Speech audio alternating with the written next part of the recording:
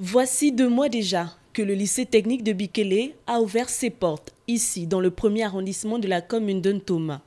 Sur les 1500 places disponibles, seules 300 places sont occupées à ce jour par les apprenants, laissant ainsi plus de 1200 places vides.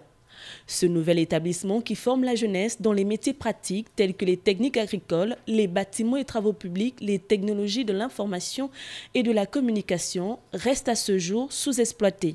Euh, nous avons reçu 330 élèves dans la décision au terme de ces commissions et euh, actuellement dans les salles de classe, euh, nous avons exactement 263 élèves. Ces élèves qui sont formés sont formés sur une période de trois ans.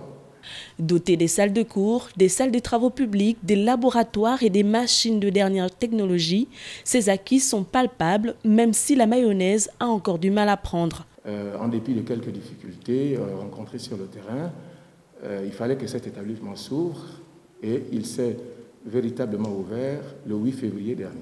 Vêtus des uniformes bleu kaki sans badge pour l'instant, les élèves du lycée technique de Bikele ont pu eux aussi débuter les cours, malgré une rentrée de classe sujette à des difficultés liées à l'état des voiries. Vu la distance, quand il pleut, c'est assez compliqué de prendre des taxis. Après cinq années de construction, la route donnant accès à l'établissement pose toujours problème, tout comme le problème d'effectif des élèves qui reste entier avec plus de 1200 places encore en manque.